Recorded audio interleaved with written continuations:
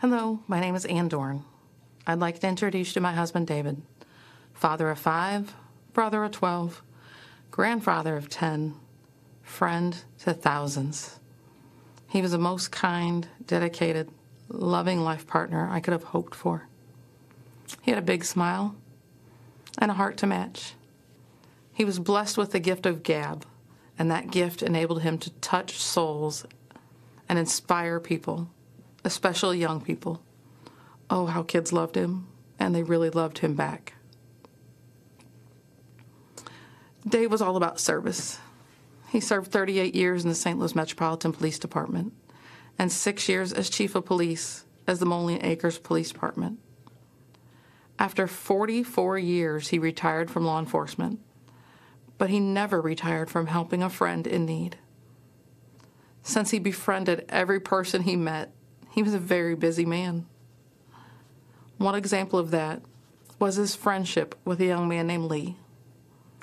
David met him when Lee was just a kid, after members of his family were attacked and murdered. Dave took a special interest in the boy they bonded and their friendship grew and remained strong throughout the years. Lee eventually opened a pawn shop. He trusted Dave implicitly and asked Dave to help with security. David readily agreed. Whenever the shop's alarm would go off, the alarm company called Dave. He would investigate. If he got a call after I went to bed, he would wake me up and tell me he was going to Lee's, just to make sure everything was all right. Most of the time, they were false alarms, triggered by a storm or animals. But I never rested easily until I heard Dave's key turn in the door, knowing he was home safe. The alarm that went off the morning of June 2nd was for real. It was a violent night in St. Louis. Four officers were shot, others were hit with rocks and fireworks. At least five businesses were damaged, looted, or set on fire.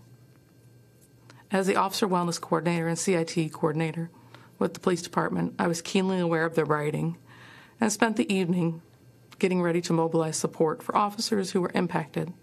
After I'd gone to bed, David received a call from Lee's Alarm Company. The front door of the pawn shop had been breached. This time he didn't wake me up to tell me. He probably knew I would have tried to stop him or insist on going with him. As I slept, looters were ransacking the shop. They shot and killed David in cold blood and then live streamed his execution and his last moments on earth.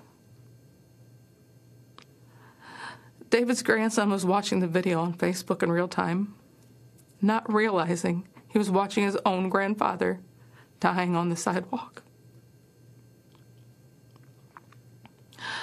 I learned of all this around 4 a.m. when our doorbell rang.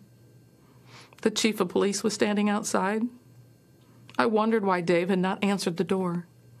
It wasn't uncommon for him to be up watching TV at this time. I called out to him several times. There was no reply.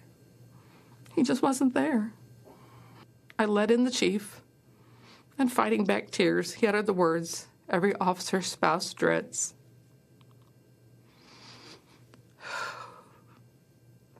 I relived that horror in my mind every single day. My hope is that having you relive it with me now will help shake this country from this nightmare we are witnessing in our cities and bring about positive peaceful change. How do we get to this point where so many young people are callous and indifferent towards human life? This isn't a video game where you can commit mayhem and then just hit reset and bring all the characters back to life.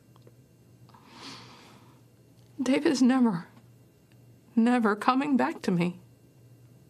He was murdered by people who didn't know and just didn't care.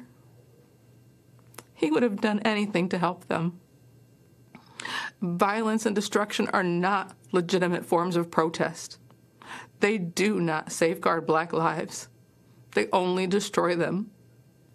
President Trump understands this. has offered federal help to restore order in our communities. In a time when police departments are short on resources and manpower, we need that help. We should accept that help. We must heal before we can affect change, but we cannot heal amid devastation and chaos.